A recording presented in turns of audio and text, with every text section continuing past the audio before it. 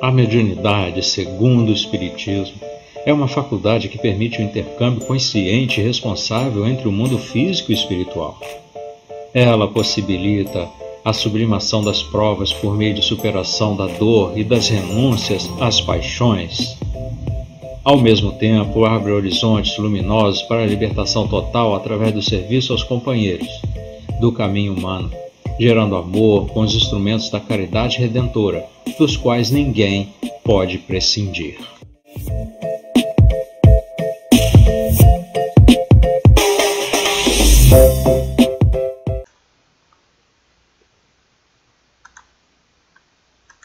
Olá, meus amigos, sejam bem-vindos. Estamos iniciando mais um estudo sobre a mediunidade, estudo básico de mediunidade, utilizando o Livro dos Médiuns, a Apostila de Mediunidade da Federação Espírita e outras obras espíritas. Mas tendo como base a, a, o Livro dos Médiuns, né, da nossa doutrina dos espíritos. Então, nós vamos inicialmente fazer uma prece e elevando nosso pensamento, pedindo ao Mestre Jesus que esteja sempre presente conosco, os bons espíritos, nos intuindo para o bem, para que possamos fazer um bom estudo com o espírito da letra e que possamos todos seguir sempre nesse direcionamento que a espiritualidade nos traz no rumo do caminho do bem. Que assim seja. Então, podemos iniciar agora nosso estudo. Nosso estudo básico de mediunidade, esse volume 4. Agora nós estamos com a, um novo tema, o tema 21, Intuição, Inspiração e Pressentimentos. O nosso estudo de hoje, da aula 56, somos médiums. Então, iniciamos aqui falando que a natureza das comunicações guarda sempre relação com a natureza do espírito. Nós sabemos que todos somos espíritos. Nosso plano é verdadeiro é o plano espiritual. Nós estamos aqui encarnados, né, fazendo esse trabalho evolutivo que todo espírito, todo ser precisa fazer, precisa passar. Nós já passamos pelos mundos primitivos, agora estamos em provas e expiações e tentando é, alcançar o rumo da regeneração. Então, conforme Kardec colocou aqui para todos nós, de que a natureza das comunicações guarda sempre relação com a natureza do espírito, é porque nós já estudamos antes com relação à nossa nossa própria fase evolutiva em que nos encontramos e que depende também da nossa moral, não é verdade? Então, é, trazendo aqui hoje dentro do livro dos médiuns, no capítulo 15, tá? Nós vamos ler aqui para vocês uma parte que Kardec nos alerta para fazermos uma comparação. Então ele diz o seguinte: um músico muito hábil tem ao seu alcance diversos violinos, que todos, para o vulgo, são bons instrumentos, mas que são muito diferentes um dos outros para o artista consumado. Então, o que ele quer dizer aqui que para nós que não compreendemos muito bem de música ou não conhecemos tal instrumento, todos os violinos são iguais, não é verdade? Assim nós vemos é, uma população muito grande, uma, uma quantidade muito de, de pessoas, aglomerado de pessoas nas ruas, nós vamos dizer, ali são todos seres humanos. Mas não estaremos olhando para cada um deles e aqui Kardec está chamando atenção nessa comparação. Para quem não conhece, quem não se integra sobre cada indivíduo, não é, não vai ter o mesmo pensamento que aquele que conhece bem. Então, nesse caso aqui, ele está dando exemplo com o violino, né, que para para muito, é, muitos, né, não irão identificar se são bons instrumentos ou não. Então, que o, então nós temos aqui um músico muito hábil, vai levar a escolher a uns e rejeitar a outros. E ele diz mais aqui, ó, matizes que ele percebe por intuição, visto que não os pode definir. O mesmo se dá com relação aos médiuns. Em igualdade de condições quanto às forças mediúnicas, o espírito preferirá um ou outro conforme o gênero de comunicação que queira transmitir. Está no livro dos Médios, capítulo 15. Estão entendendo melhor isso aqui? Ele está dizendo que se você tem dois, três, quatro ou mais médiums na casa espírita, nós sabemos que cada um é um só, cada um é uma individualidade. Você tem é, cada ser com seus problemas pessoais, sociais, com a sua ascensão moral, cada um vai estar num nível moral diferente do outro. Não estão todos nivelados, apesar de parecerem nivelados, porque todos ali são os médios da casa espírita, frequentaram os mesmos cursos, podem estar nivelados no, no estudo né, do conhecimento da doutrina, da participação né, de, de muitas atividades dentro da casa espírita, mas moralmente, né, espiritualmente, cada um é um só. E os espíritos que virão para se comunicar, eles também faz, fazem essa escolha, que vai de acordo com sintonia, com o nível de moral que cada um possui. Fato esse que nós já vimos em estudo passado, é, algumas características importantes de uma reunião mediúnica em que o mentor da casa, que era um espírito mais elevado, teve que se submeter ao contato de perispírito a perispírito com um médium que não era muito evoluído moralmente. Então, para ele foi um sacrifício ter que se rebaixar, vamos dizer assim, ter que chegar àquela vibração do médium, que era uma vibração muito mais baixa, muito inferior à da moral daquele mentor da casa. Né? Nós vimos isso com Manuel Filomeno de Miranda, num relato. Então, é, qual a causa primária da inspiração? E Kardec coloca lá a resposta dos espíritos. O espírito se comunica pelo pensamento. Olha, nós estamos aqui nesse estudo de hoje falando aqui que todos somos médiums. Nós estamos tentando identificar, então, se nos enquadramos em alguma dessas definições aí que os espíritos colocam para nós. Então a primeira é essa aqui, qual a causa primária da inspiração? O espírito se comunica pelo pensamento. Todos nós pensamos, não paramos de pensar, nem um minuto sequer. A segunda, a revelação das grandes coisas não é que constitui o objetivo único da inspiração? Olha como é que Kardec ele vai pesquisando, pesquisando para que os espíritos eh, nos esclareçam melhor. E eles respondem: não. A inspiração se verifica muitas vezes com relação às mais comuns circunstâncias da vida. Então, a comunicação não é para grandes revelações. É, muitos que começam, às vezes, na psicografia, pelo orgulho, pela vaidade, começam a achar que tudo que estão recebendo são coisas grandes, revelações importantíssimas. Quando na verdade nós já até comentamos aqui, a Ivone do Amaral Pereira, ela escreveu, psicografou muita coisa, tinha um baú cheio e os espíritos mandaram ela queimar tudo. Falar, agora nós vamos começar. Com Divaldo aconteceu também.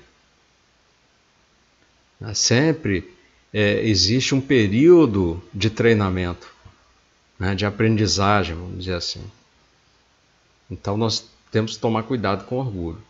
Então, por exemplo, queres ir a alguma parte, uma voz secreta te diz que não faças. Muitas das vezes a gente escuta isso.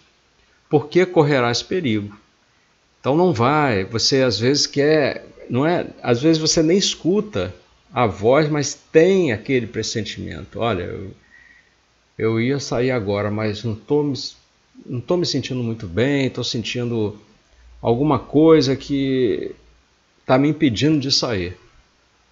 Pode ser uma dessas inspirações, uma dessas, né? Ele diz aqui, ou então te diz que faça uma coisa em que não pensavas. Pode ocorrer também. É a inspiração. Poucas pessoas hão que não tenham sido mais ou menos inspiradas em certos momentos. E os espíritos aqui têm razão. Por quê? Você prestar atenção é, desde o início do dia até o final daquele dia. Presta atenção naquilo que você pensou, nas circunstâncias que ocorreram durante o dia e veja se não teve algum tipo de inspiração. Com certeza. Ou através de uma música, é sempre pelo pensamento, conforme diz ali, o espírito se comunica pelo pensamento. Tá? E que nós temos mais aqui? Ele pergunta: um autor, um pintor, um músico, por exemplo, poderiam, nos momentos de inspiração, ser considerados médiums? Olha que questionamento importante que Kardec nos traz. E os espíritos respondem: sim. Porquanto nesses momentos a alma se lhes torna mais livre e como que desprendida da matéria. Recobra uma parte de suas faculdades de espírito e recebe mais facilmente as comunicações dos outros espíritos que a inspiram. Isso me faz recordar é, Chico, Divaldo. É, o Chico, nós podemos, é aquele, aqueles que já assistiram o programa Pinga Fogo daquela época, vocês vão notar que sempre que ele ia fazer uma psicografia, ele pedia para colocar uma música, uma música clássica. O Divaldo mesmo já comentou isso, que alguns espíritos gostavam de determinadas músicas porque o faziam se libertar. Ele mesmo estava contando, ele colocava uma música clássica que o espírito gostava muito e ele depois se desprendia do corpo, deixava ali o espírito psicografando e ele sentava em algum lugar próximo e ficava observando e, ouvindo a música que ele colocou. Então a música serve também para essa inspiração conforme ele perguntou lá no início, qual a causa primária da inspiração? Porque o espírito se comunica pelo pensamento. Tá? Então, eh, nós chegamos aqui no, no, num ponto do pressentimento. Então, ele escreve aqui, médios de pressentimentos. Que nós viemos falando de pensamento, de intuição. Mas esse pressentimento que muitas pessoas têm. Aí, ah, Kardec classificou aqui, ó, médios de pressentimentos. Vamos ver aqui no livro dos médios, capítulo 14, item 184. O pressentimento é uma intuição vaga das coisas futuras. Então, é, temos que tomar cuidado. Outro dia nós estávamos estudando aqui sobre os falsos profetas, né? que profetizar é ver algo também do futuro. É, temos que tomar cuidado com é, esses médios de pressentimentos. Algumas pessoas têm essa faculdade mais ou menos desenvolvida. Pode ser devido a uma espécie de dupla vista, que lhes permite entrever as consequências das coisas atuais e a filiação dos acontecimentos, mas muitas vezes também resultado de comunicações ocultas, e, sobretudo neste caso, é que se pode dar a, àqueles que delas são dotados o nome de médiuns de pressentimentos que constitui uma variedade de médios inspirados. Olha que coisa interessante, continua sendo aquela inspiração através do pensamento, esse médio de pressentimento. Vamos fazer aqui uma, uma ideiazinha mais ou menos do que para que a gente possa entender melhor. Vamos supor que é, você conheça determinada pessoa que saiu né, para caminhar, vamos dizer assim, saiu para caminhar e pegou uma estrada onde tem uma curva muito acentuada. Tinha um carro enguiçado ali. E a pessoa, ela é um médio de pressentimento. O espírito que tem, espírito desencarnado, que tem uma visão maior do, da onde está aquele amigo dele ali, encarnado, percebe que vem um caminhão muito grande, acelerado lá, que não está vendo o carro enguiçado naquela curva. E transmite para ele: olha, avisa para sair daí, as pessoas saírem daí, que vem um caminhão e vai bater, vai destruir tudo. Senão eles vão morrer. E ele vai ali a tempo e avisa. Se as pessoas acreditarem, vão sair. Se não acreditarem, acharem que ele é maluco. Porque às vezes no mundo de hoje acontece isso. E esse doido aqui está me perturbando. Estou trocando pneu, me deixa trocar meu pneu aqui e pode não acreditar, ou pode ficar com medo porque realmente já viu onde o carro está parado, que é um local perigoso, extremamente perigoso, e sai. Então, um pressentimento do futuro é falar, mas como ele viu o futuro que o caminhão viria se ele não está vendo o caminhão? Mas o médium, através do pensamento, ele recebeu a comunicação de um espírito que está numa posição superior à dele. Tem uma visão privilegiada, vamos dizer assim. Ou então, conforme ele colocou aqui, o fenômeno de dupla vista, em que o próprio espírito do médium ampliou a sua visão numa situação dessa de perigo e conseguiu enxergar algo que poderia acontecer. Talvez não consiga traduzir corretamente para o seu entendimento ali na hora, mas sabe que é algo perigoso que ele deve abandonar aquele local, vamos dizer assim.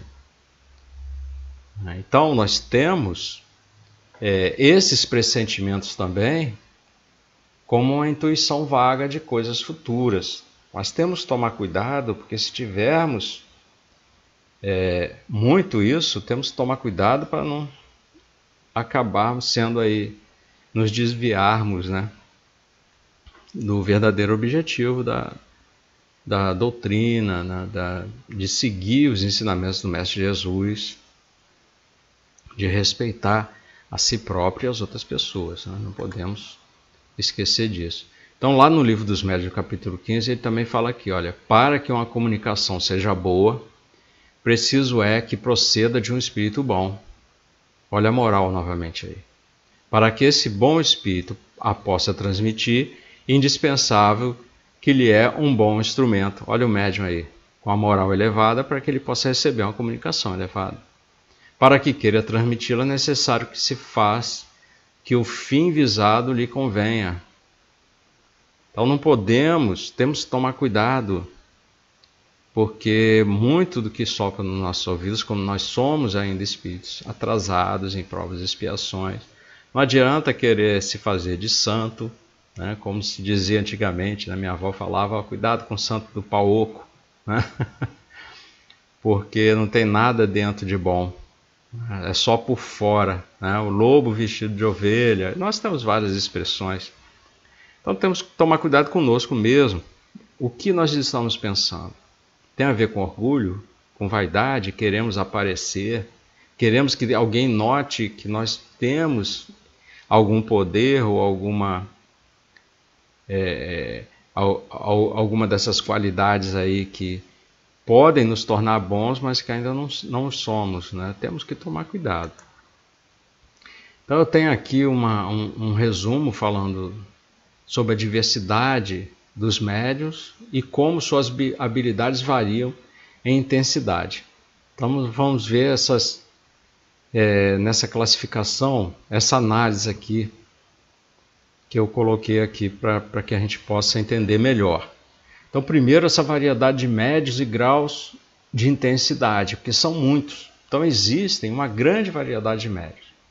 Isso foi o que, é, é o que a gente pode notar se a gente começar a perceber, pensar sobre essa situação. Que cada um com diferentes habilidades. Lembra? Cada um é um só, é um ser, é um indivíduo. Então, essas habilidades elas podem ser mais ou menos intensas. Vai depender do, de cada um de nós.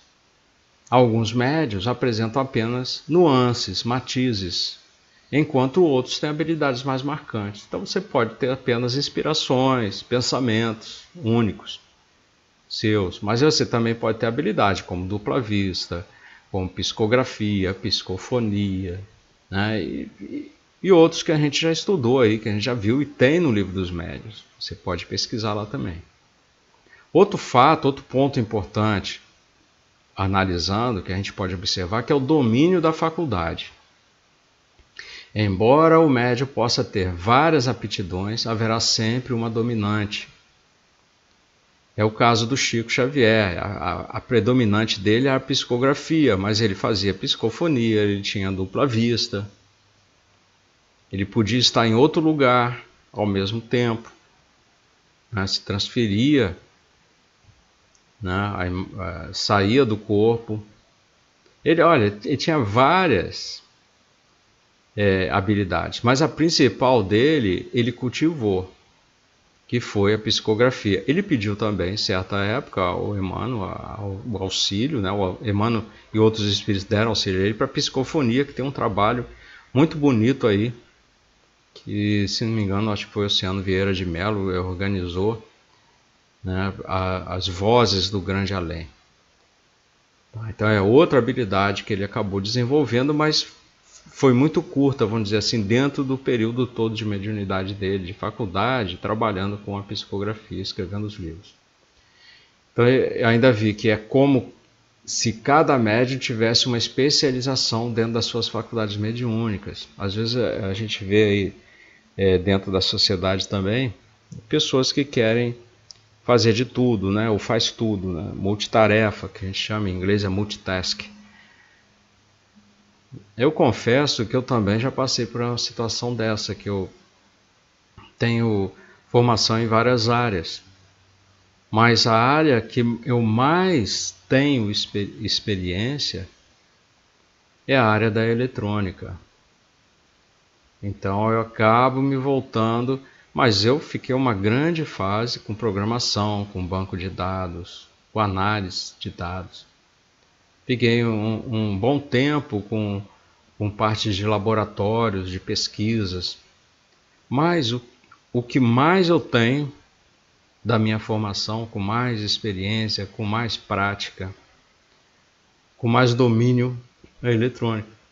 Então, assim também com o médium. O médium ele pode é, não ser apenas da psicografia, ele pode ser da psicofonia, pode ser da dupla vista, pode ter várias, mas que ele desenvolva aquela que é melhor. Então, ó, cultivo das faculdades. Pensando nisso, eu fui ver esse ponto também. Somos contra forçar o desenvolvimento de uma faculdade que o médium não possui naturalmente. Tá? Porque você vai forçar uma coisa se você já tem um trabalho para fazer naquela outra, que você já tem experiência e vai acertar quase que 100% das vezes. Por que, que você vai correr risco de atravessar uma ponte que não está muito bem firme? Então, olha, em vez disso, o foco deve ser nas habilidades que já existem, que são os germes que você possui. Tentar desenvolver outras faculdades pode ser ineficaz e até enfraquecer as habilidades naturais. Então, quando o Chico pediu lá a psicografia, foi com muita cautela, nós vemos que tem um, um trabalho na psico, psicofonia dele ali. Emmanuel e outros espíritos, até o irmão dele que já havia falecido, também está ali presente, auxiliando o espírito do Chico. Eles retiram, eles colocam o espírito do Chico para dormir, retiram ele. Ele até comenta isso, retira ele é, a uma certa distância do corpo físico para que o outro espírito possa chegar, fazer o, a, o trabalho que precisa, utilizando a, aquela área do cérebro ali. Né? Lembra, nós já vimos através da glândula pineal e a área da, da, é, da voz. Aí né? ele consegue falar e, e dar a mensagem. Modifica até o sotaque da voz do Chico, às vezes fica um pouco mais grossa, outro mais aguda, mais grave. Modifica o tom da voz, a tonalidade né? fica com sotaque de outra, outra língua e passa a mensagem. Então tem que tomar cuidado para você não enfraquecer. Por exemplo, ele tomou todo esse cuidado ali, os espíritos protegeram o corpo dele, o aparelho mediúnico, vamos dizer assim, para ele não perder a psicografia, que foi a principal. Olha quantos livros maravilhosos ele trouxe. Então, conforme eu botei ali, ó, perda de tempo e enfraquecimento. Se você tentar desenvolver algo que não está naturalmente presente, pode enfraquecer as habilidades genuínas. Tá? Então, nós temos aqui que, em resumo, veja a importância de reconhecer nossas aptidões naturais e cultivá-las. Não devemos nos dispersar em busca de algo que não faz parte de nossa essência mediúnica. Afinal, como dizem, todos somos médios. Então, para que, que você vai mexer com o time que está ganhando? A não ser que seja necessário. No caso do Chico, foi necessário, precisava daquela psicofonia. Era o tempo, era a necessidade. Naquela época ali, foi necessário ele desenvolver mais uma faculdade mas com auxílio de bons espíritos. Veja, Emmanuel não é um espírito qualquer. Estava ali assessorando. Nós já estudamos isso né? Na aula passada e na retrasada. Nós vimos que podemos até causar um problema no nosso organismo se não tivermos todo o cuidado necessário. Tá? Então, tem uma mensagem aqui de Sócrates, tá lá no livro dos Médios, que é muito importante. Que ele diz o seguinte: quando existe o princípio o germe de uma faculdade. Está esta se manifesta sempre por sinais inequívocos. Limitando-se à sua especialidade, pode o médium tornar-se excelente e obter grandes e belas coisas. Ocupando-se de todo, nada de bom obterá. Notai de passagem que o desejo de ampliar indefinidamente o âmbito de suas faculdades é uma pretensão orgulhosa. Lembra? Falei orgulho. Que os espíritos nunca deixam impune. Os bons abandonam os presunçosos, que se torna então joguete dos mentirosos. E infelizmente não é raro verem-se médios que, não contentes com os dons que receberam, aspiram por amor próprio ou ambição a possuir faculdades excepcionais, capazes de tornarem notados. Eles querem aparecer por causa do orgulho. Então, essa pretensão lhes tira a qualidade mais preciosa, a de ser médiums seguros. Sócrates. Então, é um cuidado que nós devemos ter. Até mesmo se nós somos apenas aqueles que temos alguns pensamentos, algumas inspirações e não nos vem à tona a psicografia, a psicofonia, a dupla vista, não tem nada disso, não devemos insistir naquilo que não possuímos. Ah, por orgulho, por vaidade, eu quero psicografar, eu quero. Vou... Não. Toma cuidado, porque você pode cair no joguete dos espíritos atrasados, não é mesmo? Sócrates já traz aqui. É, agora nós vamos entrar aqui num assunto muito importante que está no Livro dos Médios, capítulo 19, o item 223, que fala do médium na comunicação espírita. São questões é, que são importantes para que a gente possa conhecer melhor até a nós mesmos. Será que nós somos médios? Será que nós temos alguma faculdade? Então Kardec pergunta aos espíritos: no momento em que exerce a sua faculdade, está o médium em estado perfeitamente normal? É bom a gente saber sobre isso. E os espíritos respondem: está às vezes num estado mais ou menos acentuado de crise. Olha só, não é um estado muito normal. Então é o, é o que o fadiga, então deixa cansado, né? E é por isso que necessita de repouso, que suas energias são precisam ser renovadas, precisa do repouso. Porém, habitualmente seu estado não difere de modo sensível do estado normal, não difere muito, mas é um estado de crise. Sobretudo se se trata de médios escreventes. Então, os médios escreventes, eles muitas das vezes estão num estado quase que normal, tá? pelo que ele diz aqui. Vamos ver se tem outra? Tem. As comunicações escritas ou verbais também podem emanar do próprio espírito encarnado. Opa, então será que pode ser animismo? Que nem nós vimos, nós temos no, no, na própria codificação mensagens de Galileu Galilei que é, foi dada né, por Camille Flammarion, que nós sabemos que era o próprio reencarnado, como Camille. Então ele responde aqui, ó, a alma do médio pode comunicar-se, como a de qualquer outro. Se goza de certo grau de liberdade, recobra suas qualidades de espírito. Tendes a prova disso nas visitas que vos fazem as almas de pessoas vivas, as quais muitas vezes se comunicam convosco pela escrita, sem que a chameis. Porque ficais sabendo, entre os espíritos que evocais, alguns há que estão encarnados na terra. Eles então vos falam como espíritos e não como os homens? Por que não se havia de dar o mesmo com o médium? Então, nós temos na Revista Espírita, que é o laboratório de Kardec, alguns exemplos disso. Se vocês pesquisarem, quem tem Revista Espírita, ou até mesmo naquele site da, do nep.brasil.org, que eu citei para vocês, ali vocês podem pesquisar, aparece é, partes da Revista Espírita né, com os assuntos. Se você pesquisar sobre isso, você vai ver que tem é, mensagens, é, psicografias ou comunicações é, através de psicofonia, Kardec fazendo o experimento ali, e descobre que o espírito que está comunicando é de alguém que está dormindo, que saiu do corpo e foi lá dar comunicação. Né? Não conhece muito do plano espiritual, conhece mais do plano material. Kardec foi descobrindo essas coisas, por isso que ele faz essas questões aos espíritos. Tá? Será que temos mais outro? Temos aqui, olha. Não parece que essa explicação confirma a opinião daqueles que entendem de todas as comunicações que provêm do espírito do médium e não do espírito estranho? Então, ele está falando que algumas comunicações podem vir então do espírito do médium, que seria o próprio animismo.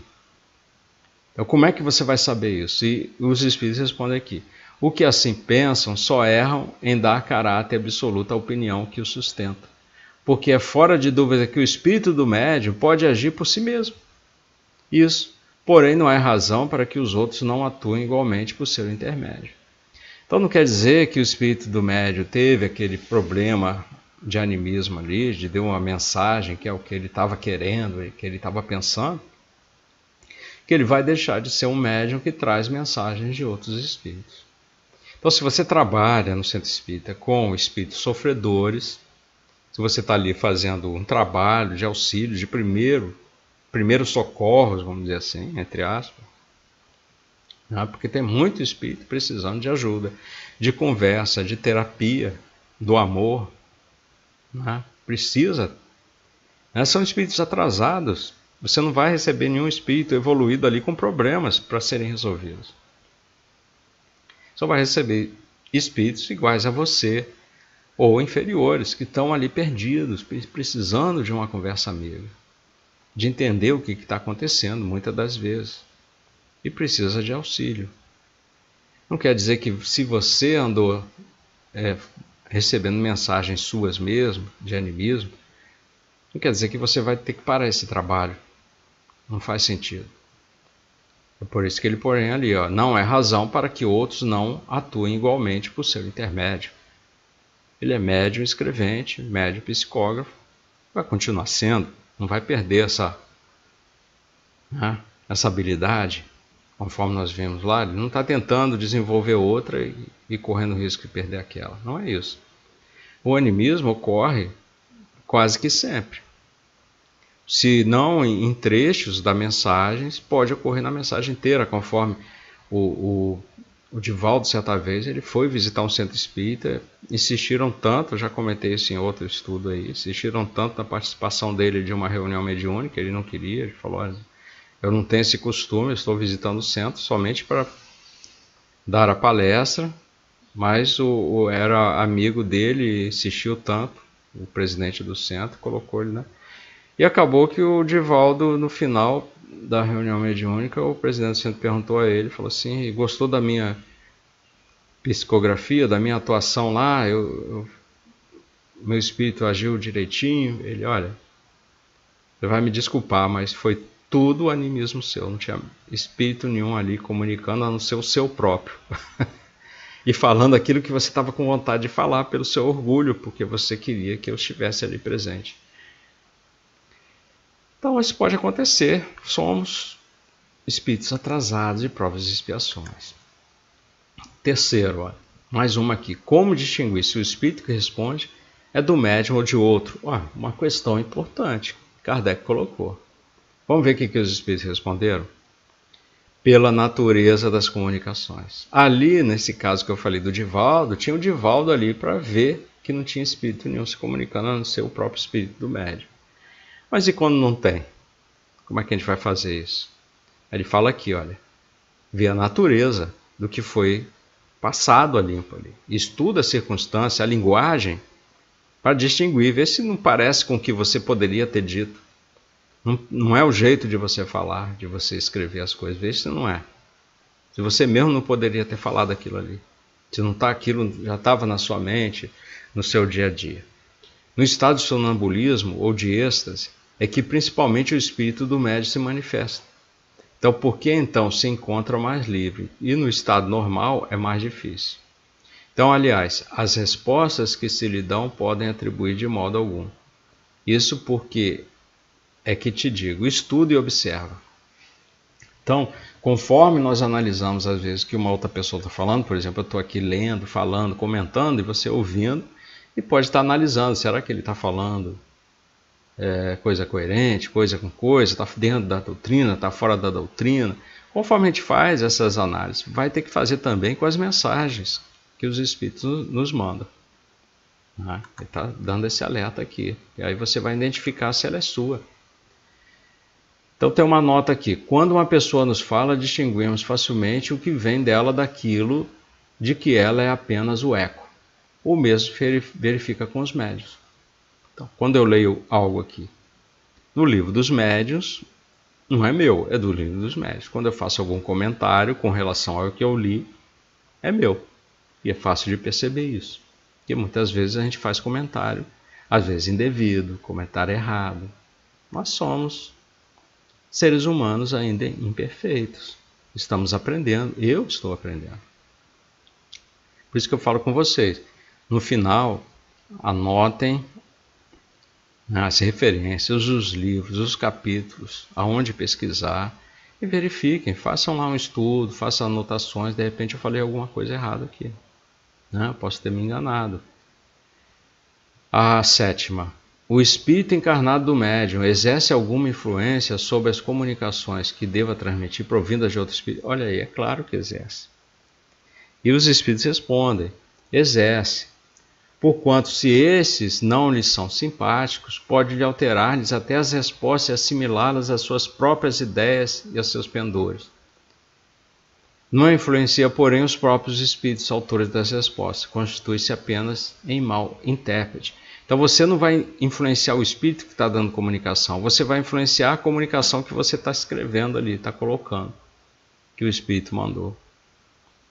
O Chico mesmo, é, sem maldade nenhuma, colocava mamãezinha, mamãezinha. Às vezes as mães falam, mas meu filho nunca me chamou de mamãezinha. mas é o carinho do Chico, era o carinho, mamãezinha. É, mas o, a, aí via no corpo da mensagem informações importantes que só o Espírito poderia ter dado naquelas cartas. Isso acontece muito. A Ivone do Amaral Pereira, ela teve, ela não estava conseguindo psicografar o Tolstói. E aí o espírito, acho que foi com Tolstói mesmo. Eu sei que o espírito levou ela em, em espírito para ela recordar que ela já tinha é, vivido na Rússia em, em vida passada.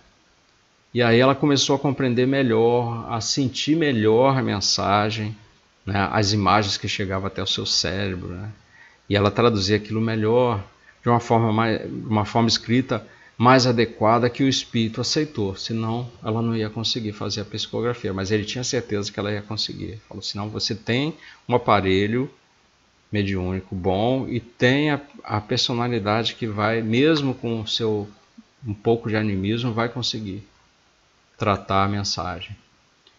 Então, eu ter uma observação importante aqui que está dentro do próprio livro dos médiuns.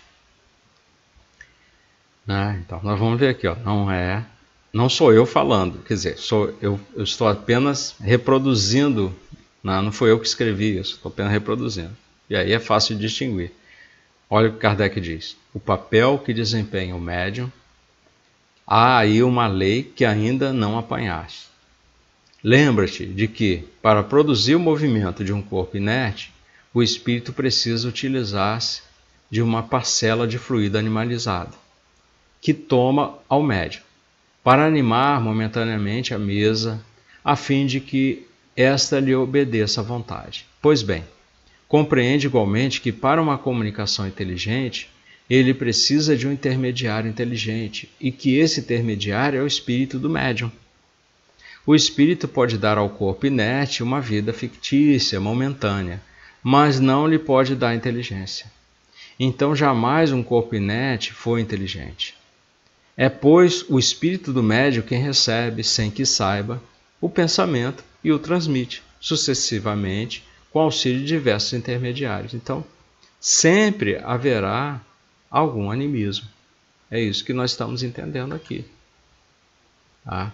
E terminando, é, eu coloquei aqui que a moralização de um espírito, pelos conselhos de uma terceira pessoa influente e expediente, não estando o médium em estado de o fazer, constitui frequentemente meio muito eficaz.